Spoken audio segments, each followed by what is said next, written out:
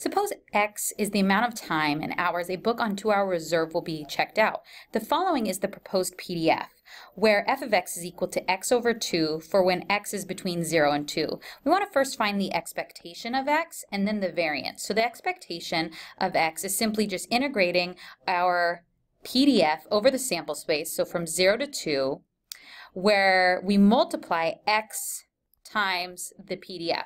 So of course this is equal to the integration of from 0 to 2 of x squared over 2 dx. If we integrate this, this will be x cubed over 6, and we will evaluate this expression from 0 to 2, which is equal to then 8 over 6 minus 0, which is simply just equal to then 1.33 hours.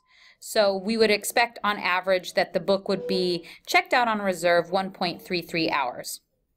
All right, so then what's the variance of x? Well, again, this is always going to be the expectation of x squared minus the expectation of x quantity squared.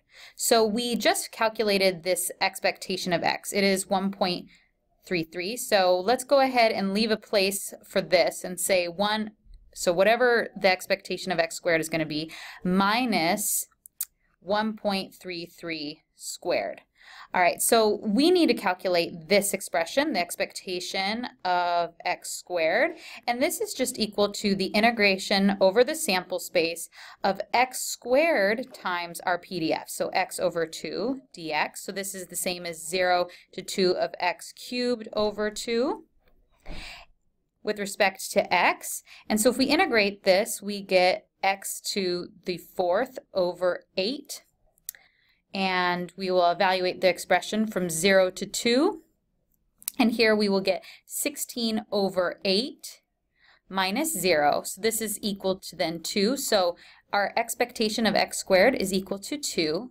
So if we plug it in up here like I just did, then we can calculate the variance. So the variance kind of has like a two-step process in calculating it.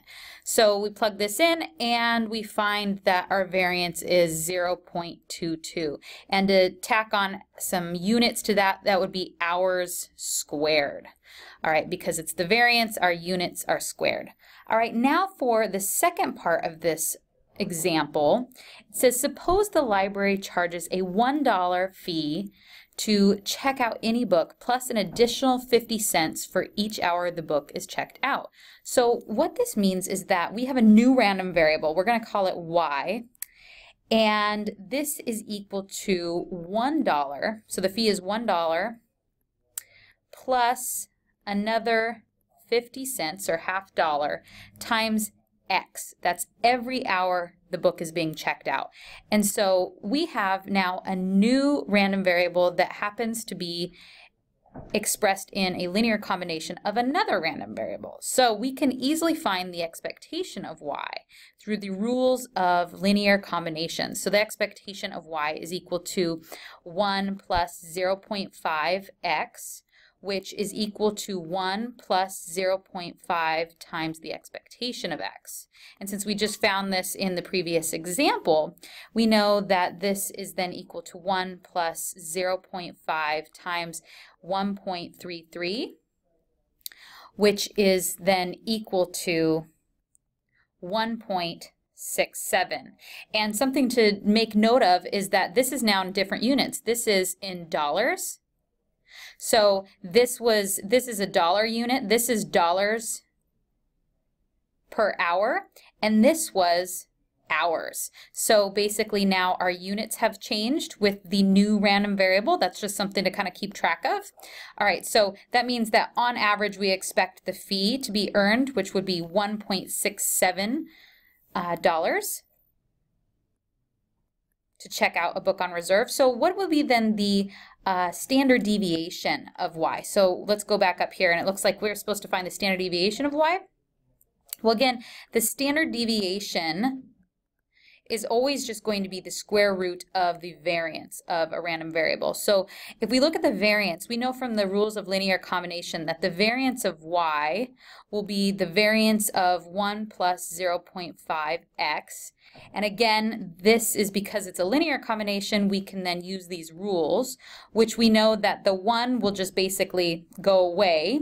And because anytime you add 1 to all values of a random variable, it doesn't actually change the variation of the random variable. So that's why the 1 just doesn't quite do anything, but the 0.5 does. And so if we take the variance of this, we will get 0.5 squared. We bring that multiplier out and square it.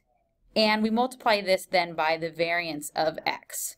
So this is equal to the square root of 0.25 times the variance of x, which is 0.22. And this is equal to the square root of 0.055, which is in all equal to 0.23 dollars, so 23 cents. So on average, the fee will vary by 23 cents. All right, hopefully this video helped you understand how you can use linear combinations to find expectations and variances.